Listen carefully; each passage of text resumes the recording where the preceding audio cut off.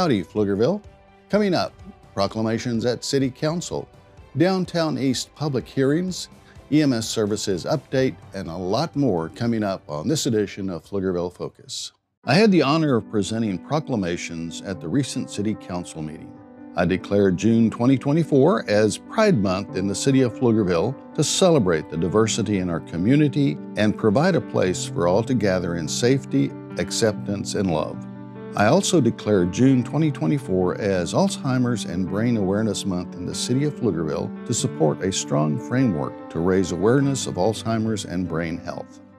The City Council voted to continue the partnership with Allegiance Mobile Health to provide emergency medical services for our residents.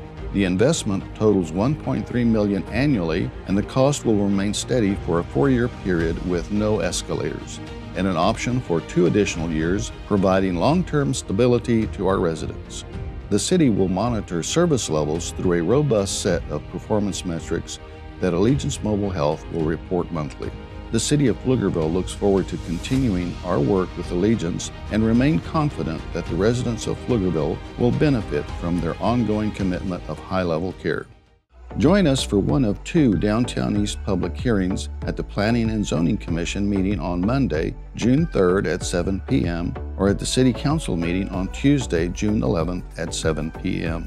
Meetings are held at the Pflugerville Justice Center, located at 1611 East Pfennig Lane. The project has entered Phase 3, which includes public design engagement. Construction is slated to begin in December 2024. The City of Pflugerville's Equity Commission invites you to join the upcoming Listening Tour, an event designed to gather community feedback and build a more inclusive and equitable future. Your participation is key to ensuring the Equity Commission's work meets the needs of Pflugerville residents. Upcoming tour dates take place June, August, and September. The Council approved the purchase of soccer field improvements at the Wells Point Sports Park at 800 South Heatherwild Boulevard. Improvements include the releveling of playing fields and the installation of approximately 170,000 square feet of Bermuda sod and fertilization of fields.